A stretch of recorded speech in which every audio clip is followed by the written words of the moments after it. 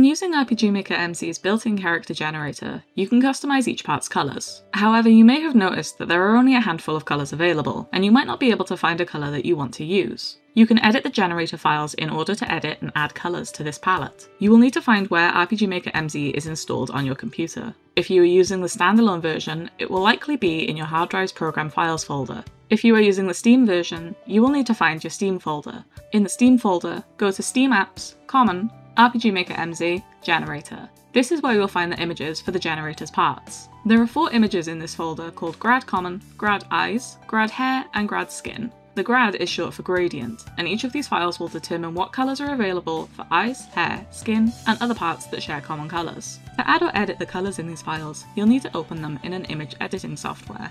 I personally use GIMP, but you can use almost anything to accomplish the same thing. When you open one of these files, you'll notice that each colour is a long strip of gradient that is 4 pixels tall.